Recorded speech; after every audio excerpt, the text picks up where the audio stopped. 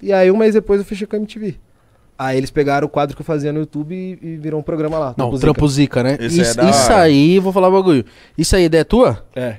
E muito foda. Isso é muito foda. É E muito aí eu- foda, mas tem que ter culhão, viado. É, eu, fazer, eu comecei a fazer, tinha pânico ainda. Eu pegava, eu peguei uma Sonyzinha, uma Sony Action, fui com. O primeiro que eu vi foi com o Motoca. com o- ele fazia um canal de vlog da- de moto. Eu falei, mano, deixa eu ficar com você um dia. Eu vou gravando aqui, vou fazendo seu rolê, vou trampar com você e vamos ver o que, que, que que vai dar, assim. E aí fiquei um dia com ele, editei, cheguei, fiz acho que uma semana o vídeo, soltei e a galera curtiu. Aí Você trampando de motoboy. trampando de motoboy. Motoboy, mano. Isso é Não, louco. é Vocês- foda. os caras vivem no limite, No assim, todo limite, dia, no né? Limite total, mano. Aí o segundo eu fui fazer, falei, quero fazer coveiro. Não, esse aí é o pior. Pôs um mau corpo. Aí fiquei atrás, atrás, atrás. Aí aqui em São Paulo nada. Aí consegui uma cidadezinha do interior. Que o cara conseguiu fazer um esquema lá pra eu gravar. E ele falou: Ó, vai ter, vou ter que abrir uma gaveta aqui do cara que era indigente e tal, pra poder trocar. E aí você pode fazer comigo. Fede. Meu Deus. Não. Então, não fede porque é- já tava há quatro anos, eu acho. Já era só tipo a caveira, cabelo, dente, as paradas que fica e roupa. Cheio de madeira, assim. Mas é muito louco, porque a, caveira inteira, assim, aí ele falou, ó, pega a cabeça. Tipo, tinha que jogar num saco pra jogar no ossário pra derreter. Nem fodendo. Mano, Mas Mano, nem que eu fodendo. peguei Prefiro pular de caveira, assim, ó, paraquedas. que eu tirei, eu falei, caralho. É, é Mas a energia. É, é foda. Pô, é foda. Aí o tiozinho, ele, ah, não, tô aqui há não sei quantos anos, não sei o que. A sala dele, um monte de garrafinha de cachaça, garrafa pet. O cara trabalha chapado o dia inteiro. Aí eu falei, ah, quanto que é perrengue aqui pra você? Ele, ah, quando morre criança, quando vem recém-nascido, quando não sei o que, nananã. Uma Aí morte ele muito levou- feia, é, né, mano? Aí ele me levou numa parte lá que era, que eu nem sabia que existia, que era uma, tem umas gavetas que é só de pedaço do corpo. Tipo, você perdeu sua mão, a galera vai lá, você vai visitar depois. Visitar a mão? É, tipo, você perdeu, sei lá, amputou uma perna. Aí tinha um paredão assim. tá, o cara tá que- vivo, mas ele vai Ele visitar vai a mão. visitar a mão dele. Não, É sério? não existia isso. Eu falei, caralho, nunca imaginei que alguém ia. Sabia nem que. Cara, não- Igor, vamos ter que amputar sua mão esquerda. Põe fogo nessa porra. E aí o Fica cara ia visitar minha mão. Do nada o cara, caralho, tava, tô com maior saudade da minha mão, vou lá ver. Uma flor. Levou a flor. Ô, mas um que você fez, você foi no esgoto também, não foi? Fiz um no esgoto, fiz um no fossa de hotel. E aí, mano, era uma roupa especial, Ah, mano, assim, que vinha fuder, com a. Vinha com a bota, não sei o que e tal. E aí entrava no, no, na- na- no fosso, era isso aqui de merda, assim. Atolava até aqui o joelho. Aí tô lá gravando, acho que Ah! uns 5 minutos, 10 minutos, comecei a perceber um pé mais gelado que o outro. Aí eu falei, caralho. Dormiu? O pé dormiu? Não, aí eu fui Não, mexendo assim. água, né? Aí do nada, assim, aí foi. Aí eu pisava, aí tipo, pisava assim, aí eu vi que às vezes grudava na bota. Eu falei, caralho. Tô- Aí eu falei, pro, aí eu falei pro cara do, do hotel, falei, mano, acho que furou. Mano, os caras já desesperados, me tiraram, porque era lixo.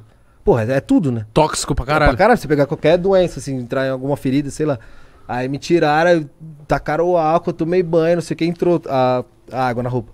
Nossa, Mas não deu nada, né? Hã? Não deu nada. Não deu nada, mas tipo, jo- joguei calça fora, joguei cheiro de bosta, tipo assim, mano, foda. Aí joguei tudo fora. Qual que era o trampo deles? era, era limpar, tipo, a cada, sei lá, quanto tempo, eles tinham que entrar nessa fossa, pegar com a pá o, o resto que, tipo, era muito sólido, que não, pra não fuder a encanação, jogava num outro balde e descarregava no, no caminhão. Aí tinha que entrar com a pá. Recolhimento de bosta. Recolhimento de bosta. Mano, que trampo do Recolhimento. caralho, Descarga mano. manual, velho. Esse bagulho aí. Caralho, Descarga mano. manual foi foda. Ô, mano. Esse, e aí esse era no YouTube ainda, não foi, na- não foi pra MTV. Mas, ó, é, é- o coveiro, eu acho que ele. o- é que você falou de coveiro, é uma parada que, mano, eu sou muito fissurado nessa parada de morte, porque é uma parada que eu tenho muito medo. Então eu fico vendo. Outro dia eu, Curioso. eu tava assistindo a mina no achismo lá do Maurício Meirelles, ela é trampa no IML. Eu, Eu fiz a- ML. Então, isso que eu ia falar, você fez IML também. IML é pior que, que É, coveiro. ML tem o cheiro. No ML a gente fez... Não, e você tá vendo o corpo, mano. Tipo, É. você não vê a caveira. Não, no ML eu fiz o, o resgate de um corpo que tava dois dias num carro. Era um tio, foi na Brasilândia lá. Aí, tipo, eu ficava lá com eles, aí eu fiquei, eu fiquei dois dias, porque tinha que esperar o chamado. Aí dentro do chamado você tem que ver o que, que é a ocorrência, se vai ter família, se não vai ter, se libera gravado, né? Fica meio, meio, meio rolê, assim. E aí era um cara que tava abandonado no carro lá uns, uns dois dias. E aí a gente foi fazer o resgate. Aí tive que tirar do carro. Você tirar o bagulho. É, ali- não, aí nesse eu não podia encostar ainda porque tinha a perícia, mas tipo, eu podia acompanhar e gravar tudo e ajudar sem encostar no, no corpo. Aí tirava do carro, botava no alumínio, botava dentro do carro, aí ia pra lá e ligava pra fazer o reconhecimento, não sei o quê. E aí a perícia também, os caras mostraram como que é a balística, tipo, tudo. Fiquei uns, uns dois dias nesse, depois fiz só perícia criminal. Você não, você não ficou, sei lá, não ficou nervoso, emocionado? Cara, não. Assim, na hora do corpo deu um, deu um negocinho, assim, mas eu falei, pô, eu tava tão na adrenalina de, Do trampo, né? de fazer, e a parada do Trampo Zica no YouTube, mais do que na MTV, eu trocava muita ideia. Na MTV teve que mudar um pouco porque eles queriam uma pegada mais reality. Tipo assim, queria, a minha ideia era fazer documentário pro YouTube. Na MTV era mais, tipo assim, o selfie passando um perrengue para fazer tal coisa. Uhum. Tá. Então, tipo assim, uma coisa que eu curtia muito fazer, eu trocava ideia, tipo, meia hora com o cara.